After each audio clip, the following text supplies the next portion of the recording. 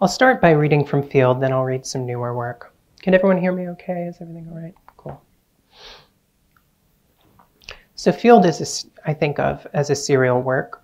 It's numbered one, two, three. When I get nervous, I forget that you all know numbers probably already. Um, but I'm going to not read the numbers. I'll just bounce around.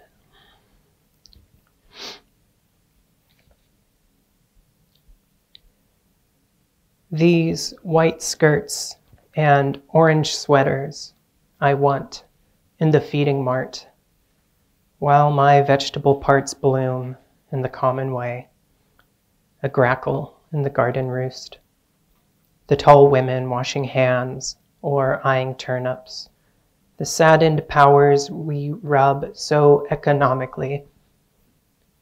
In one version of things, Alarum is my name unkempt and handled. I am horse. I am saddled. I am a broken horse.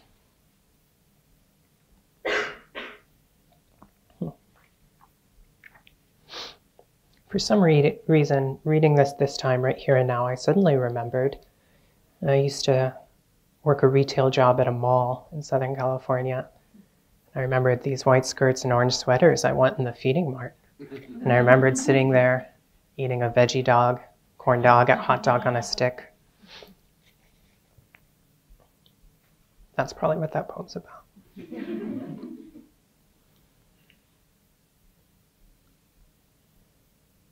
there is nothing funny about this. You alone on a tip that is the tip of world teamed in, no bigger than a good sized fist, your groundling heart fissioned in round. Listen, one day you will be all ear, a you alone in a field of mare. I am older and the same than the names you gave. This is the course, a tran, a field, a corpse.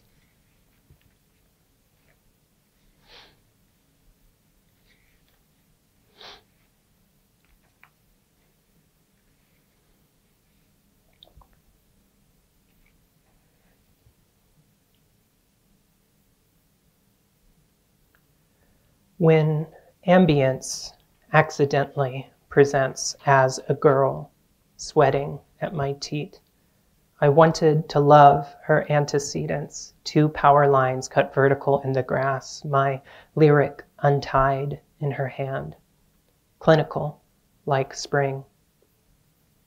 Is there anything you love, sis, more than an antecedent? It is pleasing to understand labor as a feeld, a felt passed through. I would see you green in that land.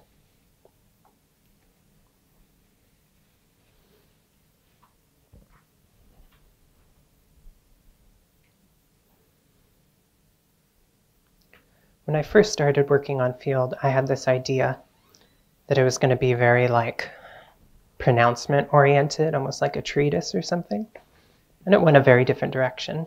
But occasionally a poem or a bit of a poem remains of that sort of earlier thought, and this is one of them, I think. Gender is not the tran organ. Gender is, yes, a hemorrhage. The name script and the state script proceed, lapping the milk in my sacks. Gender like all surface, is a female depository room. In that cloud, Moses wept, and we expect a law. His face like light, and our bodies golden in vaginoplasticity. If you ever get down my mountain, he said, purge me with hyssop. Offer my bullock on the altar. A tran is nothing but the sense of some burning. I alone have escaped to tell you this.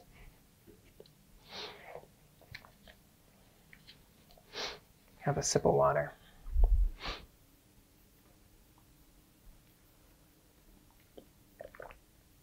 reading's really cool, and I'm really thankful to be here reading to you all.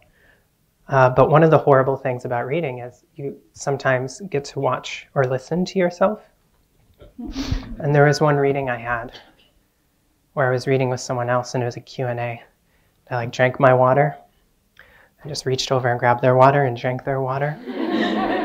horrible, horrible thing to do. Had no idea. And it went up like two years later. So I was like, oh, wow, I'm really sorry to this person two years ago who I took their water.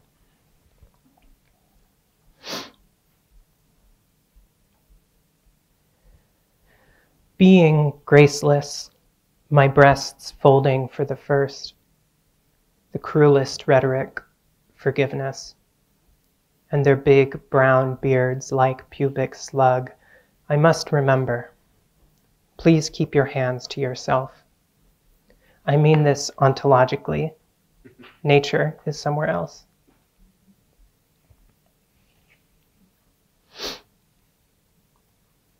And speaking of that early pronouncement oriented language, uh, this poem is the first poem that I wrote that uh, remains in the manuscript.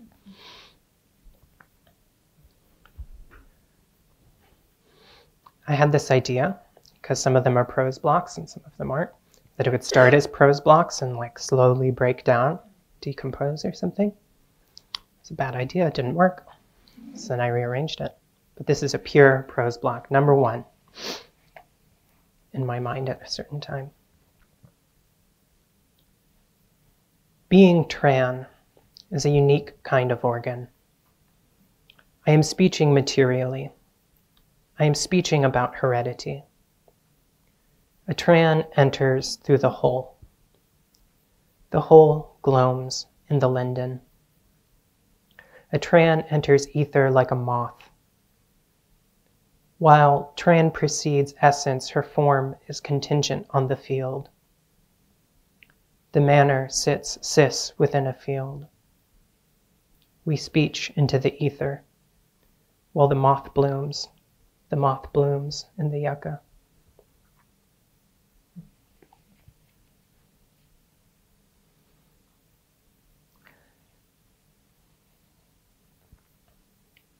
I met earlier today with some students, and one of the things I talked about was how I really like cliches. The trouble is getting them to work. And I really wanted to write a trans butterfly poem because I thought it was like really obvious. so that was my way to do it. The moth blooms.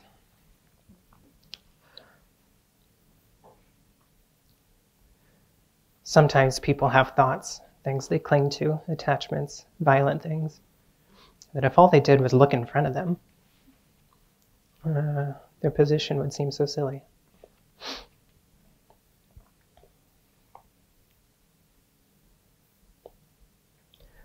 Pox in the pewter again. Gash in that syntax. A tran, her name some flint already in the ash. I can't stop writing Tran, her double name. The boys coal into a natural row. The garden they flatten when they pass to what? This morning I saw you. A bell spilt in a field. Only there was no field, and a cathedral is not its bell, but some ringing. No name, but to reckon with the ringing. My breast's grown, a bell I tend, and it's stunning, a thing, before it's gone.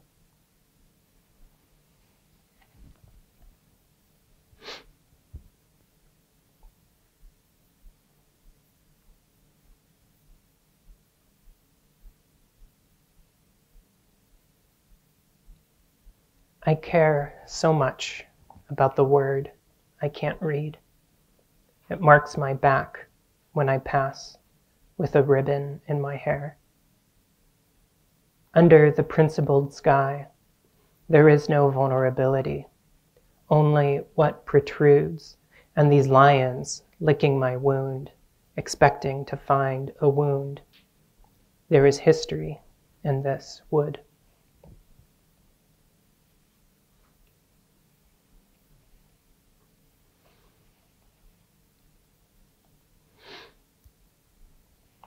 I'll read one more uninterrupted, then I'll give you a little humorous anecdote to keep us going.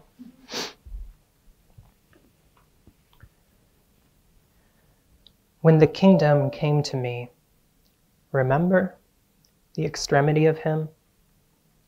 Or were you busy bopping gophers and scouring votes? When the deposit turned coal, when cavity meant flat like sea, when the shape my surface so neatly curls and vaginates me. A child is what ideology looks like, existingly. And I can't tell you how happy I am today in the garden, my tightened mouth, a thousand shut in bees, the linden timely in its gloam. I couldn't shit for weeks, a supple red thing and alone. Okay, so first sad, then, then amusing anecdote. Okay, sad. Uh, one of the things that I like about this poem can I say that? Can you say you like your own work? I'm looking to you, David. Clearly, you're the authority. Yeah. Um, yeah. Uh, um, is uh, I, it's hard to write about things that happened long ago without appealing to some kind of like narrative of healing or growth. I find um, you want to say like, oh, this thing happened and I'm better, obviously. But some things, like, I don't know, I'll never get better. There's lots of stuff I'll never get over. Uh, I don't know, I'll never get over the times my brothers were rude to me when I was little or whatever, no matter how great our relationship might be, right? Um, I still love them. And yeah, so I was trying to think of how to write about things when one was a child uh, and remember the scenes when I was a child and remember how things were interpreted when I was a child. And so a number of images came to mind while I was trying to think through this. One of them is bopping gophers, the humorous one. So I got to set down the book. I'm going to do a mime. You need the book set down for the mime. So when I was around age seven, we lived in this apartment complex in Southern California. So it was like a kind of like a rectangle of, and in the middle was like a little garden. I guess it was supposed to be like communal, but it wasn't like a real garden, right? It was like apartment complex garden. So it was like a tree and some rocks, right? Um, and there was uh, gophers who lived there. Uh, at least I remember them being gophers. Um, and we had this dog, Charity, who was really mean. Horrible name for, for, the, for that dog. Um, and Charity would sit there on this little patch, these little gopher holes, and wait for the gopher to pop up. And then, like with the right paw, smack the gopher. And the left paw acted as like kind of leverage, you know, to launch the gopher up through the sky. So this is one thing I remember around that age. And then the second one that I remember, also humorous, I hope, uh, was Chuck E. Cheese. Do you all know Chuck E. Cheese? Yeah. Yeah, exactly. Um, where a kid can be a kid. That pizza was really bad, wasn't it? Really bad pizza. Um, uh, so yeah, I, I, remember one of the first times I went there is for a birthday party of someone, um, I think from my Sunday school. Uh, that's why I made friends. Um, why not? Uh, and I went to play that like whack-a-mole game, you know, where the like, um, and I thought, well, this is silly. Um, if they like, this is way too hard. If I go like this, you know, then they can't come up. And so I did that for, for a while, and I got a lot of tickets, and I was doing great. Until they found out, and someone threw me out took my tickets. Sometimes I remember, like, when I was little, right? And you think, yeah, no, like, I understand that. But then I picture me now, like, walking up to a seven year old and throwing them out of Chuck E. Cheese. like, how mean do you have to be to do that? But anyway, so that's kind of like a microcosm of the US, I think.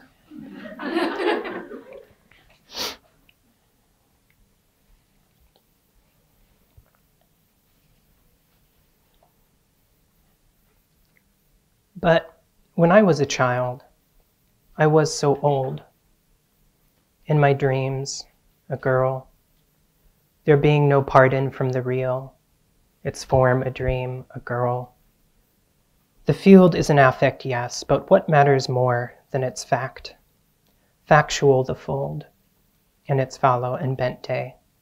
Mattering how we call a thing, and what did we make then, being so tall, the day being old, some facts stunning the air.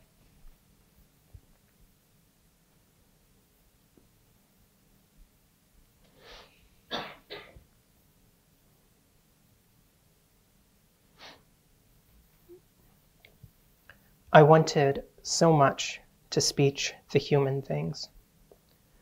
I became the bird suit they sent me in. This is what makes us girls, thinning by the hour.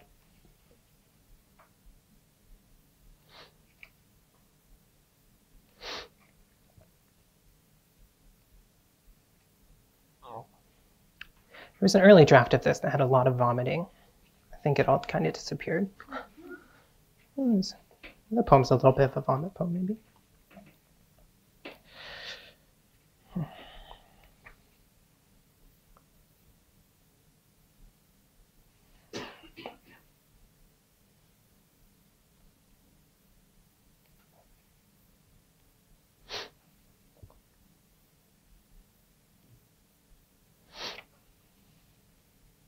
The bit provides its horse. The rock provided a boy, blessing God.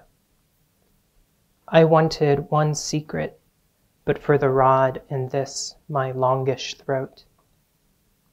I know no new way to speech this, the power of lions.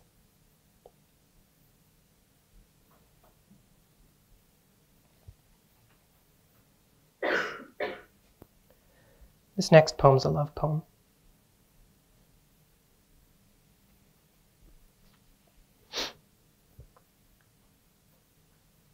Speeching of trees from the inside, you can grow dear to one only from the inside. I took pride in what was dropped. When nothing was in sight, my pride was in your leaves, where medallions could be.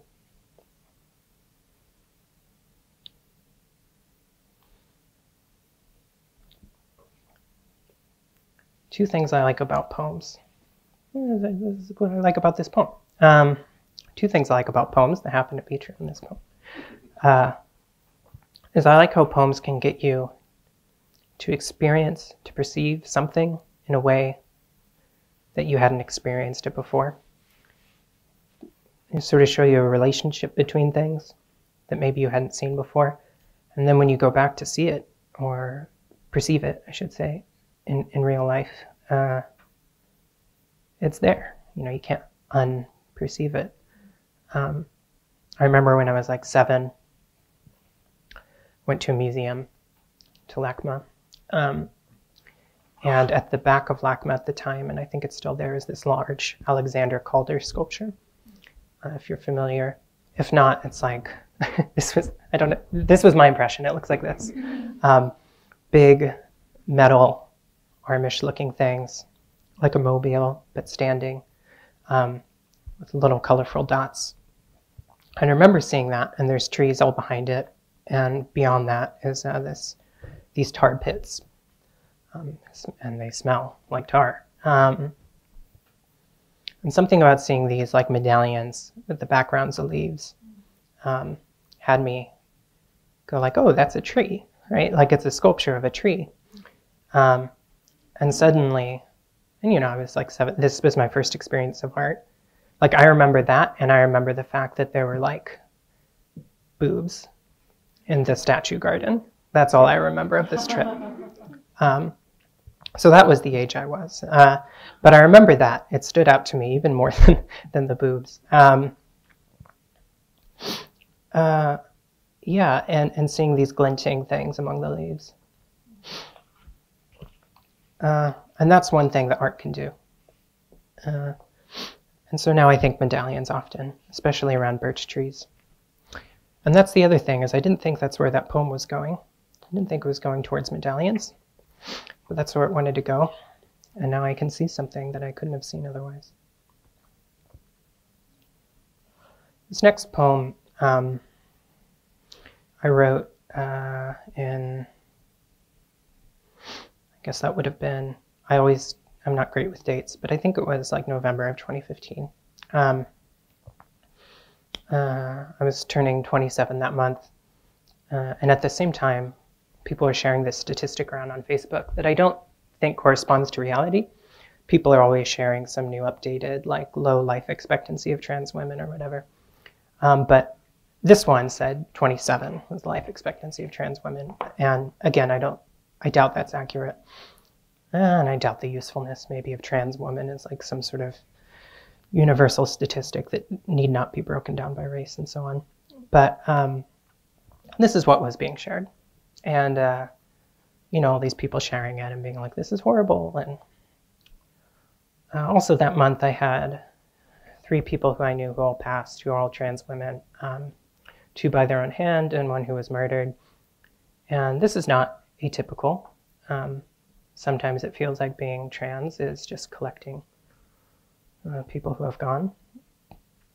Uh, but that was a hard month.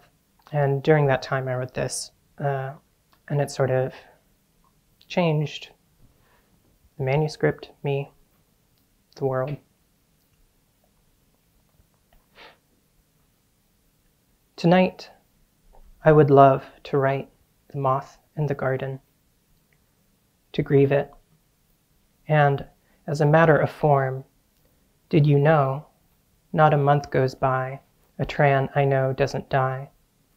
Just shy of 27, it's such a pleasure to be alive in this trembled suit you lent. Shock is a structured response, a word lost in the mouth of keepers. And you thumb at the moth, a dozen bees. I tethered these nights. I gathered so many trees.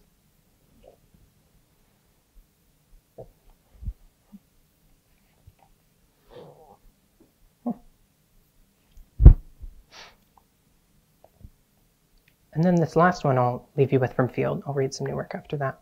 Um, is uh, something like hope after that. Um, something like hope. Uh, but hopefully not um, that sort of bad faith liberal hope of like, well, we just sit around and things get better, right? The arc of history tends towards justice, isn't it? Well, maybe I can't disagree with that. Uh, I don't know. I got no opinion. No opinion. Um, but uh, a sort of kind of active, active hope. A hope of if there were times that things were together before they were broken, or a time that people were together before they weren't. Uh, it's possible. Mm. And that sometimes the impossible becomes very possible all of a sudden. Mm. That kind of hope, an active hope, a hope you work at. Precious, every light, dying into a cindered heart, its ashy ring I am an arrangement of strings, deferred what remains of a fire latent in any wood. And you, a rushed thing, singeing what you could of my dry strings. It's good. It means we can change. I'll stop with feeld for now. Get some more water. I'm going to read some new work. Um, okay. This first poem is three sections. They're untitled. I imagine a manuscript beginning with this, but we'll see. I always change my mind. I've told, I've said like I'm done with this manuscript like five times now, and then I scrap two thirds of it. So maybe it just lives in this room for now. Like you, I looked for arbors to bend beneath, carried circuits, countless in the blood, myself from room to room, to see a city square, pin calendars to a wall. And here I have heard of inventories of names, dead, unspoken, as if the first.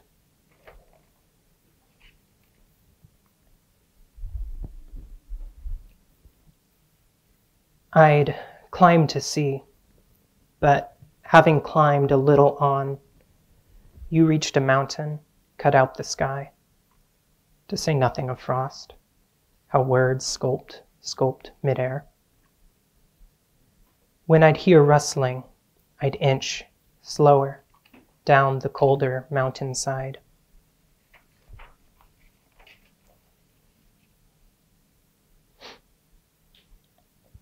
Where, out from under, story or carriage, pulled to the floor, it's pressed to, new growth, a mushroom up from bathroom tiles of a house where Xmas lights loom still. Togethered, a yoke of violet overhead, and it could not matter less if you look. Where, up from floors, restingless, plotless, shelterless, green.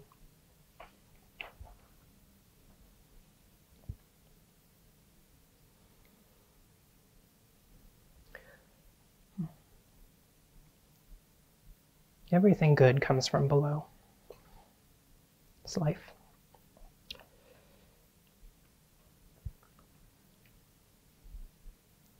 This is called a New York poem.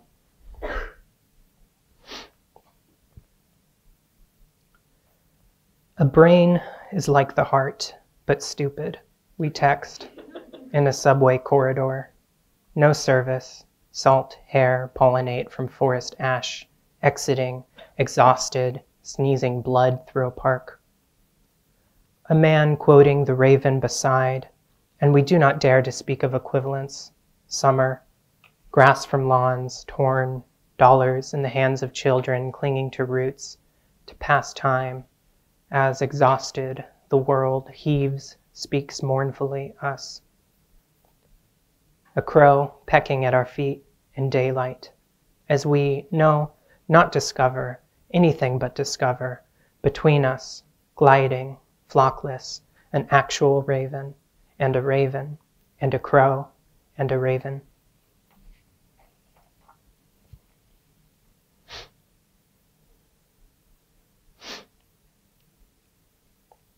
Also today when meeting with students, I, I discovered, I mentioned, uh, that, you know, sometimes teachers will be like, what are your go-to things in poems?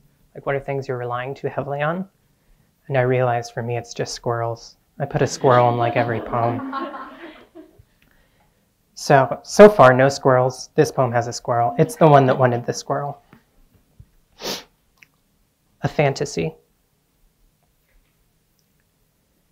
When I speak of a child every day and how little she matters, struggling to say the relation of mind to a brain, struggling against it, and how undiagnosable the concurrence of a squirreling, darting thing, not proceeding but lyric, as I grope the branch it climbs, and carrying an umbrella as I was, and spilling buckets in my eyes, not interruption, but the logic of concert, and lost the line I thought to write given as I am to misfiring, running through shrubs, mushrooms, and roots, almost screaming, and it seems so little to matter this morning in a room within a room in a country given to misfiring and losing as it does not only words and climbing the large oak tree at school a backpack on my back full of rocks and smelling as I did unlike I should and not speaking as I do and no one would kick so high, I thought of Zacchaeus when they took me down, groping as I was, at spilling rocks and almost awake, just out a dream today, I turn to you to say, I think I will go running.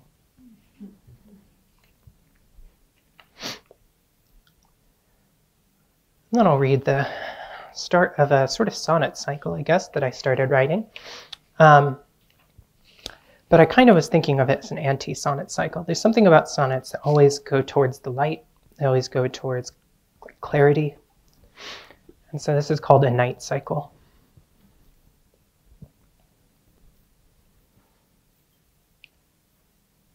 Day bore us for a time in cold light, spoke clear of antagonism or its obfuscation. It offered firm edges. Now is the hour keys jangle in pockets, and pockets that house keys still, and geometric eyes of women and men shut before you, who shut eyes earlier, before a possum crawled up the tree to die or rest for a stretch, the yellow of leaves underneath and quivering. Quite fundamental, the non orientability of objects at night. We share this, a palace. We imagine and build, pigment by pigment, atop palaces of flesh. Each door opens to this palace, and each locks before each brief, unmutterable flash.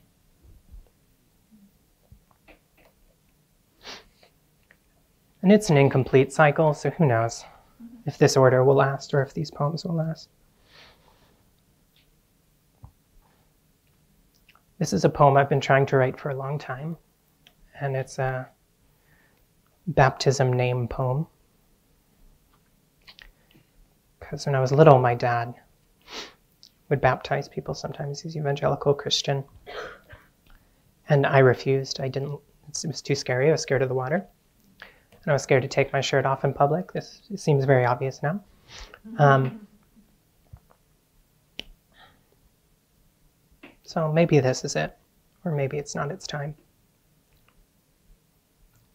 It seems in the performing arts very clear that maybe it's not the time to do something. Maybe you have to be a certain age to play King Lear or something. Maybe you have to be a certain age to do certain routines. So maybe this is not the time for the poem, but maybe it is. Hard to say.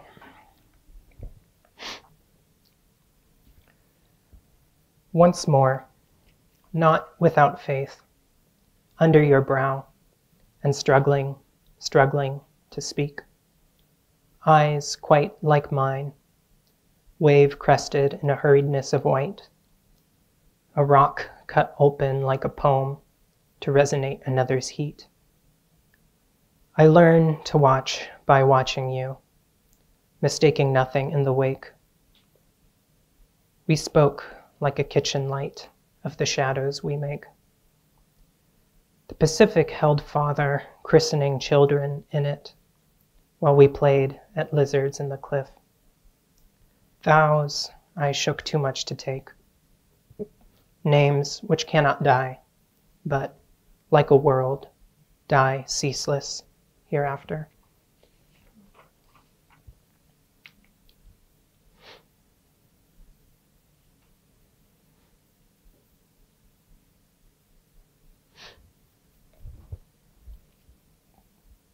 Difficult to speak of violence, beauty harder still. And the violence of beauty often goes unnamed. Still, people wake nearly every day, hold their breath. Excised by language and walking a coast at night, I pass a man throwing back a fish, boys blowing smoke from a lifeguard shack. I had thought the sea a membrane bound to shore. Shoals, exceptional, puckered through. But the sea is not a surface. It is tombstoneless, offers no language to exorcise you from you, however we might try. So, I walk all night, a coast, and see no limit, or no longer try.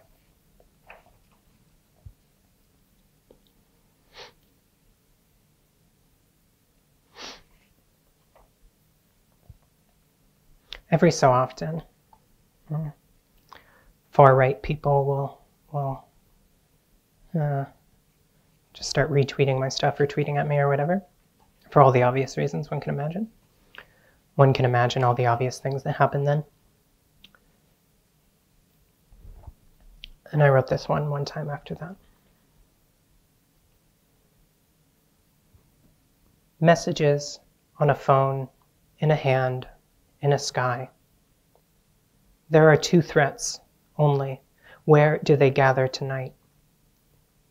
Encounter is the ground we drowned in stone to arrive upon. The record was a crow picking at seeds in the rough. But where are you tonight, my love? The day was long, my breath heavy with sun. The day, like us, was a record of the disappearance of light.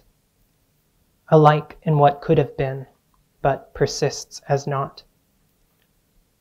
The record was wrong, necessarily, but not unnecessary to write.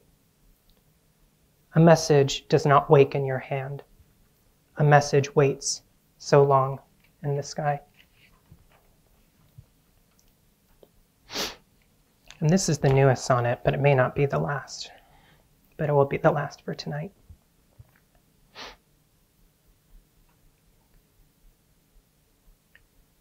Into the book of leaves I wrote, It is when I sing only you hear. Into the endless book full of leaves I spoke because I could no longer hear. 2016 is long ago, but with us still.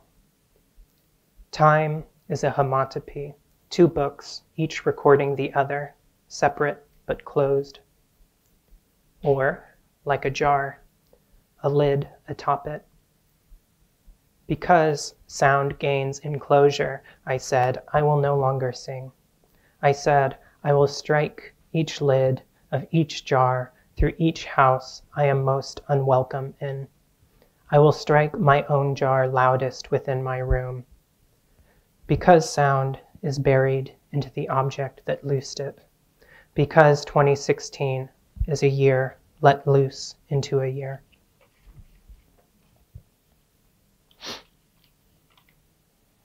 Hmm. Let's do two more. Why not?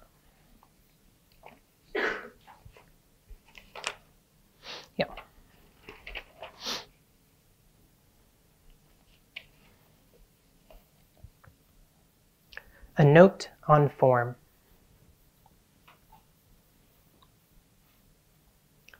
Never having lived among things, but beside forms of things, I no longer look where the city lifts a little further, past houses, oceans, light from a crane breathing, no longer looking the child, hurried beside a mother moving too, too fast at what escapes the grasp of leaves and awnings of leaves, past what is lifted up, whatever word lifted from whatever throat it's lodged, there being only one throat between us, past perception, anything but arrangement, and nevertheless perceiving, as we must, what moves between us, quickening, no longer a roof but atmosphere, precursor and remnant of speech, remaining, as it must, perhaps, the least effective of our music.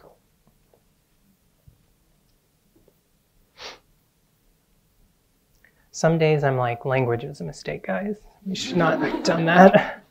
Horrible idea. Its resistances often seem like only against themselves. Themselves, yeah. But music. Speech is a is a subcategory of music, I think. This is also untitled, and it mirrors in its look sort of the ones I started with. Preservation is merely compost delayed. A jug burst to ground, any ground, and whose, and after all we put into a mouth, we speak nearly of truth what waits to be said, and giving, I said, to a room of any but you, If I have spoken of trees, I merely and only have meant the gracious indifference of trees, of trees. Thank you.